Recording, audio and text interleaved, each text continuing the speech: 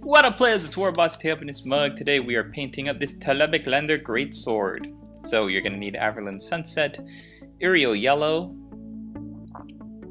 Seraphim Sepia, and I'm doing these paints in, in groupings, so that's all the yellow pieces, or yellow bits. Steel Legion Drab, you've got some cloth and leather, Lead Belcher for obviously all the silver parts, for the red, we're going to be using Mephiston Red, Evil Sunz Scarlet, and Agrax Earthshade. A lot of debate over whether Agrax Earthshade or Carroburg Crimson is the better shade for red. I find Agrax is pretty good. Okay, Balthazar Gold for the gold.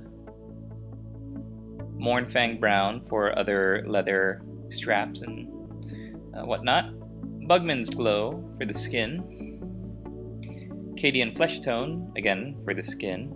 We shade the skin using Reikland Flesh Shade.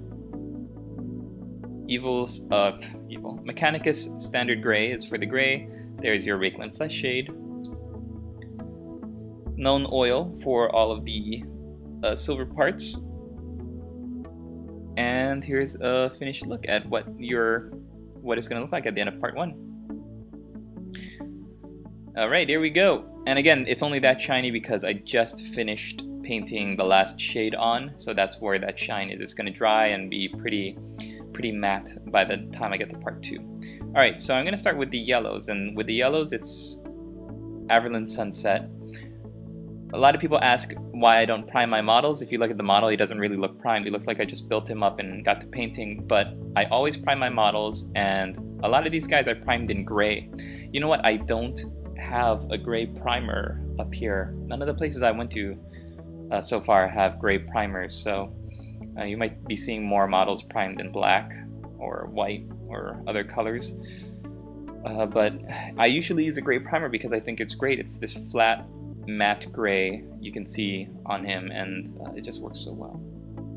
Okay, so the Averland Sunset is going on. Right off screen I've got my wet palette and uh, that's where I'm putting all the paint and uh, for using Averland Sunset especially not so much Mephiston Red but Averland Sunset is a kind of tricky color. As I was painting on this this uh, trouser leg I was thinking oh I should have probably base coated with like a Steel Legion Drab or some other um, like darker color to build up to the yellow.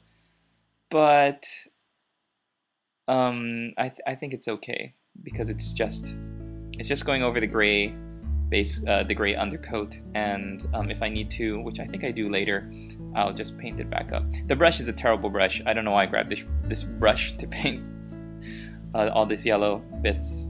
I got some paint on the sword. Okay, so the this particular model has armor all down the left arm, I'm not sure, I don't have all my great swords in front of me. I'm not sure if that's true for every great swordsman. I think some of them have ruffled sleeves on both arms, but this one did not. So depending on what model you're using, uh, you might have to paint the, the left side in yellow.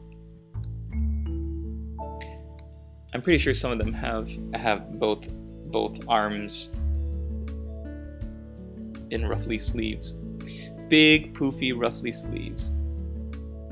Alright, so Mephiston Red is going to be our base coat on this side.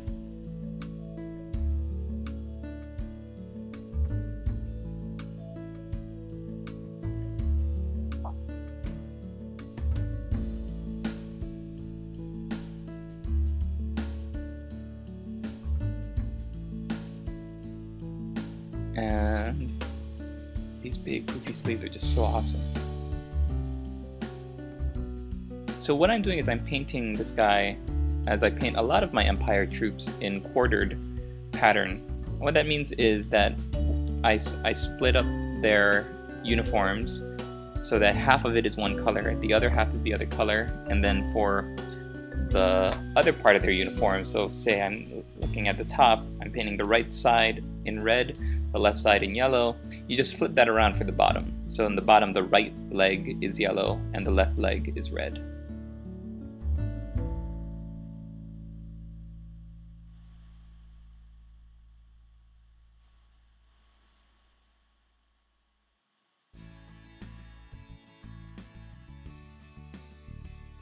Again, having your wet palette right there next to you is a huge help.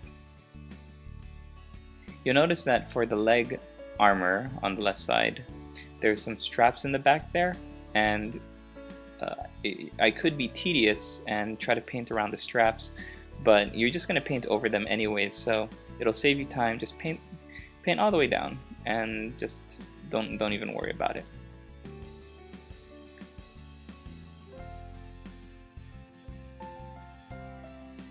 So there already you've got that bright yellow and red Talabeclander color scheme.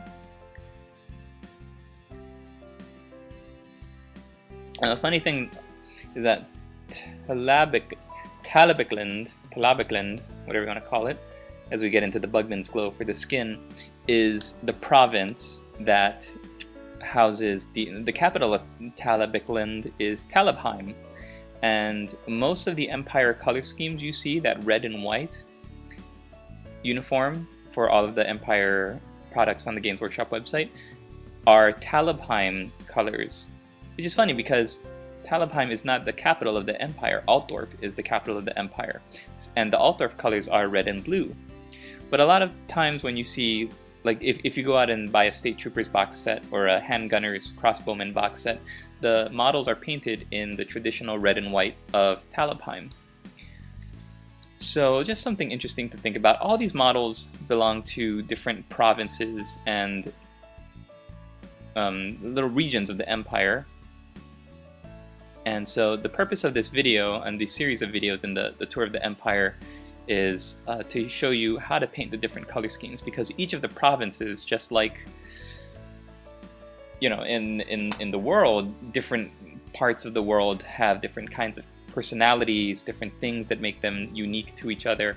Talabecland is known to be more uh, forested and the people there are more in touch and in tune with, with nature and uh, not too much, but uh, it's named after the god of nature, Taal, in the Empire, and um, he's the god of, of his. I think his symbol is like the stag, and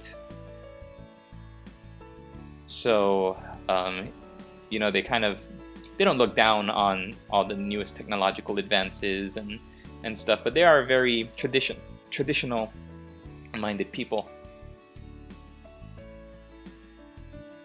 And here you can see I'm going back over with my Averland Sunset. Okay, so I made a mistake. Between the videos, you'll see this little sleeve on his left arm. I thought it was just kind of like a cuff, like the right arm. No, it's supposed to be in metal, and you can tell because of the rivets on the arm bracer. So I go back between clips and, and repaint it.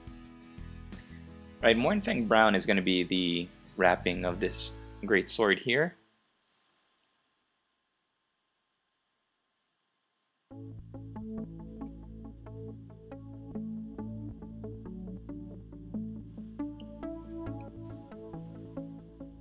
This video is also a July Painting Challenge appreciation video for War Chef Andy. As we go on into the Leadbelcher for all the silver, now that I've got a minute to, to talk about him.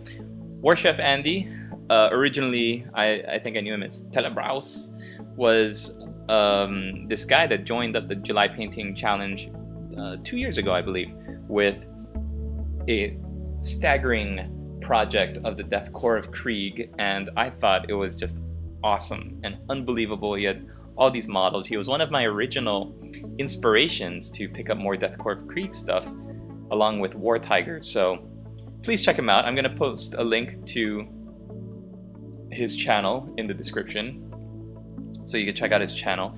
He's a great guy, and his July Painting Challenge videos last year, and I think the year before, they were just so fun to watch, and especially when he would go out and show us uh, around his his town. Uh, it was just so awesome to see it because uh, the lady boss and I really like Europe. We enjoy seeing anything about Europe and um, the European countries and the, the countryside and, and everything. So uh, it was cool when he would take the camera around and, and show us around. So the July Painting Challenge, besides showing off a bunch of projects from people, is a great way to uh, get to know our, our little community of gamers, and uh, I'm really, really happy that he uh, took part. So Warchef Andi, thank you for being such an awesome participant. This past year, the reason why this is a July Painting Challenge appreciation video for him is because he did he did flagellants and great swords, and uh, so I decided, oh, I, I want to paint up a great sword anyway, so I'd uh, for, for a for a painting tutorial. So I'm gonna make this one dedicated to you, buddy. Thank you again, and uh, hope everything is going well with you. So the reason why I wanted to do a great sword, some of you might be wondering, oh, why aren't I doing a state trooper or or a uh, or a crossbowman or, or, or, a different type of type of unit is because the great swords are like the elite, the best of the best, and I'm not uh, hmm, I'm not sure where Carroburg is because the Carroburg great swords are the most famous, the red and white ones. I think they might be in Telepiklanden though, so that could be why. But also because with all of the end time stuff coming out, the Empire of Man is not doing so good. Um, our buddy Karl Franz, he's kind of hard pressed. He's he's had some rough times recently. Um, so I, I thought, you know what? Most people out there are not going to be doing the blocks, the huge blocks of state troopers. They might. I, I, I don't know what the army lists are like, but I think a lot of Empire players out there to combat the craziness of of all the big bad stuff that's coming out Lead Belcher again are gonna want to be doing more um, more specialized and elite things. So great swords artillery I think you're gonna see a lot of that. And that's why I decided to do this for a tutorial. I only got a couple left. What's after Talabecland Wissenland I gotta look at my uh, uniforms and heraldry of the Empire again. Alright, so I've, I've given my my guys some time to dry, and you saw that I painted Lead Belcher over the little bracer there. I thought I did it in between clips, but yeah, well.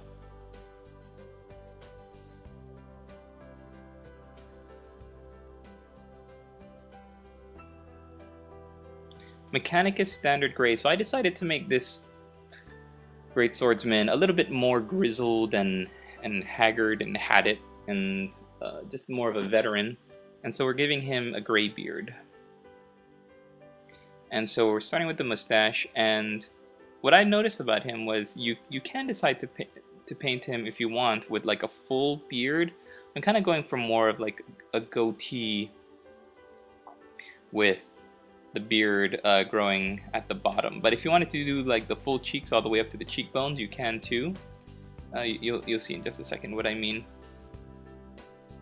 So if I turn him to the side a little bit, the next time you see him turn to the side, you'll see the uh, left side of his face, the beard comes up just under his chin. So I'm going to leave his cheek and his jawline without uh, hair just to give a little bit more pop of that flesh color. Alright, moving on to Yriel Yellow. This is a tricky one you're going to need your wet palette for because Yriel Yellow is one of those layer paints that if it's on your brush, as soon as it comes out of the pot, it wants to it wants to uh, set, it wants to harden, it wants to dry. So if you don't mix it with a little bit of water and thin it down in a wet palette, it's going to be harder to work with. You're going to have less control with it on your brush. And you'll notice that when I'm painting it on, I'm using very short strokes, not like with the Averland Sunset where I'm just kind of slapping it on the model. I'm looking for the highlighted, or, or the areas that I want to highlight, and I'm just trying to stay away from the shadowy, recessed areas. So I'm not going like under his butt cheek right there. I'm, I'm just kind of going for the like the, the, the larger flaps of fabric and leaving the little slashes untouched.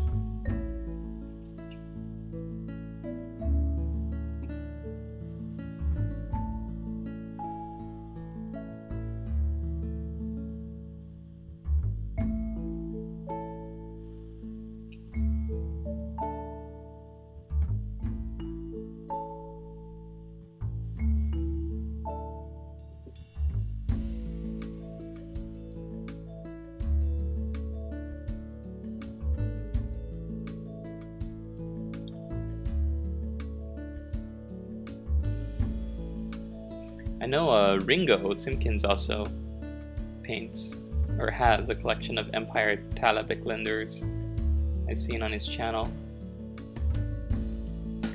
Another fantastic guy. I started working on my 6mm Byzantines also. I mean, just a little bit off topic for a bit, but ooh, they are small. Those guys are small, they're tiny.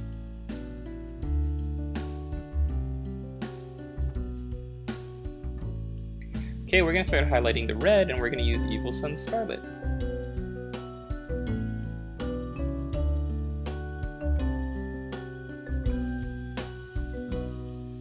This is another one you want to thin on your wet palette if you can.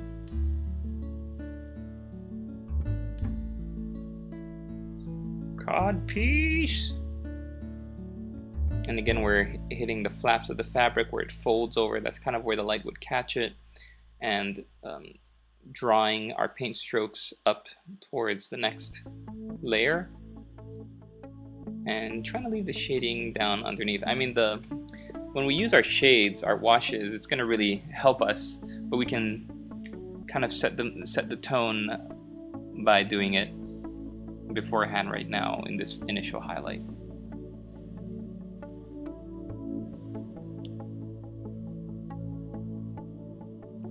You can see those those straps on the back of the leg armor there, which we're going to be painting up in just a second.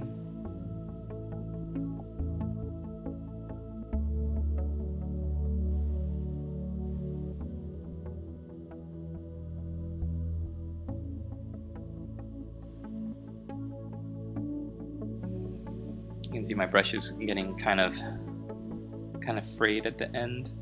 Probably time to retire this one.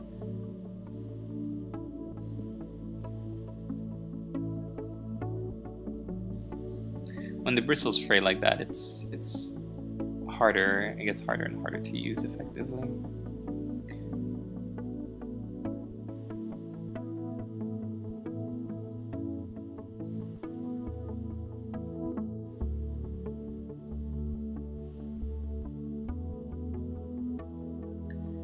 Alright, moving on, we're gonna paint the cloth areas now with Steel Legion Drab. A lot of these cloth areas, I've mentioned this with other Empire videos, but you're gonna have lots of straps, lots of leather buckles, belts, um, holsters, lots of things on your models that you can paint in a couple different colors, and your options would be this, Steel Legion Drab, for a more kind of milk chocolatey brown. You've also got that Mournfang brown, which you see on the on the greatsword itself, and a third option is to go really light with Rakarth Flesh. And uh, that's usually reserved for more like scrolls and parchment, but you could also use that as well.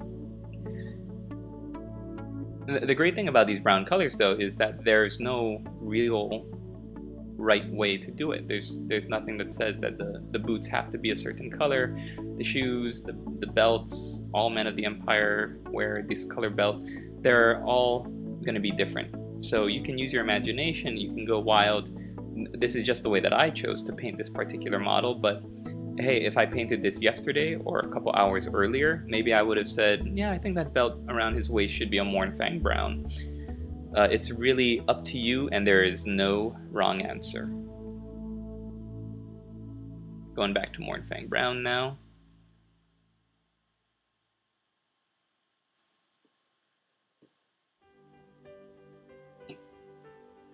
I'm gonna hit these these straps with this Mournfang Brown.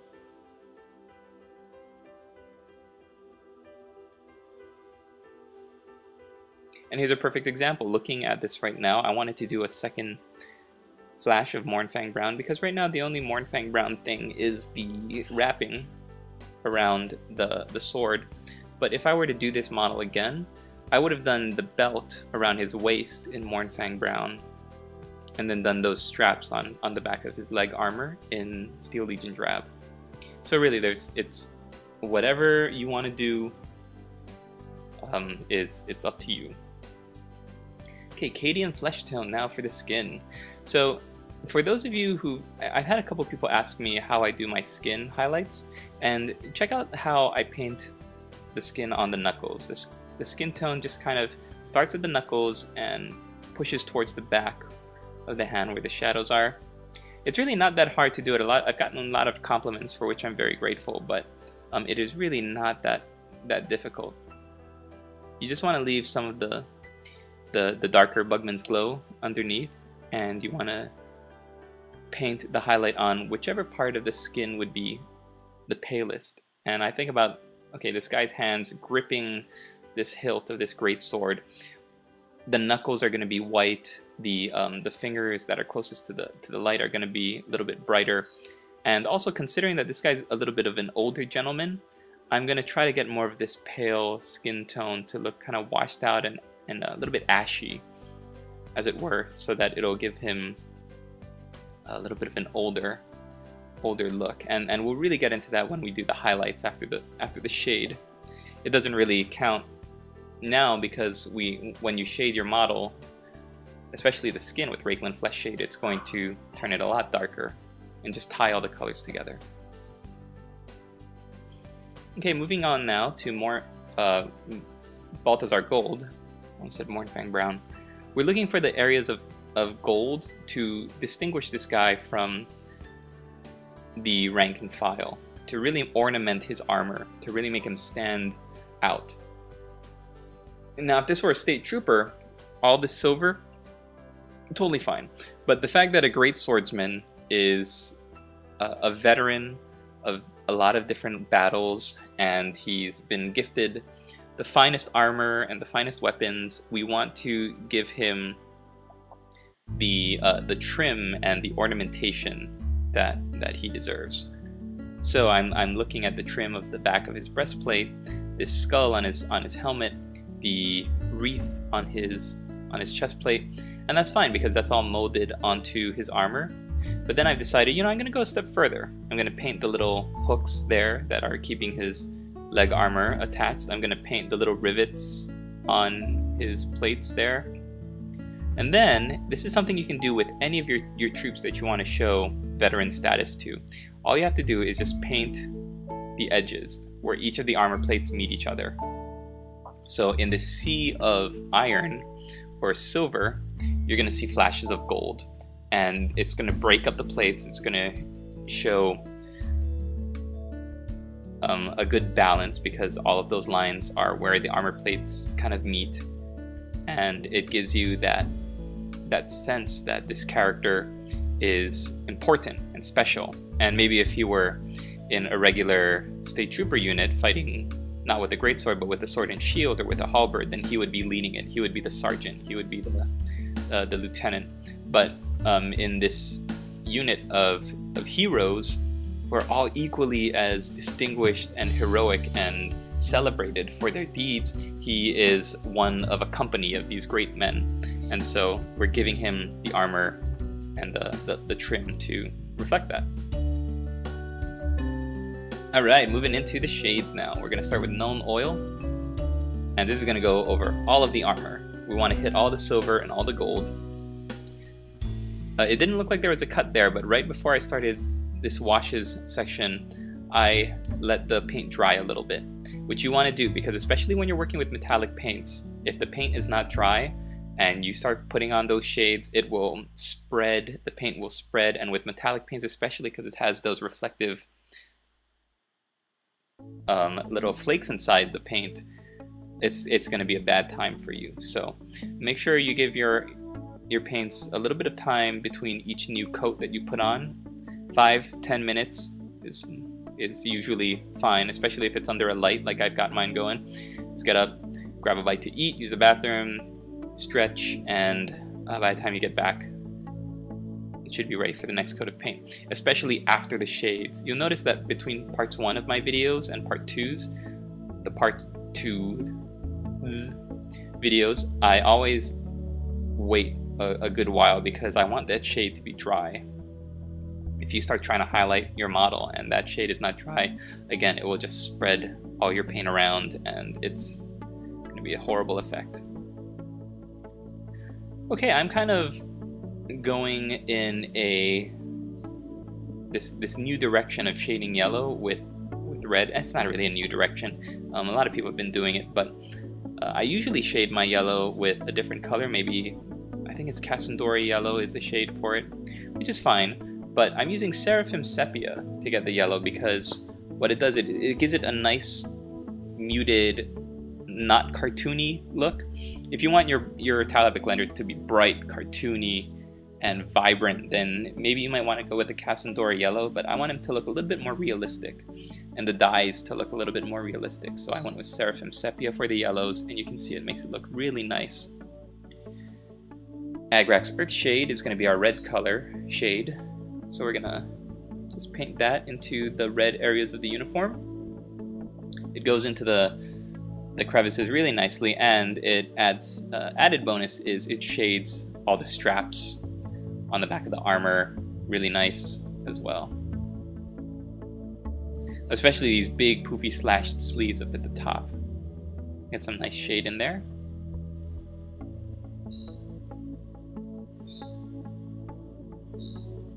With shades, you want to leave at least a couple hours to dry, just to be sure. You always want to, you got to be absolutely certain, you know?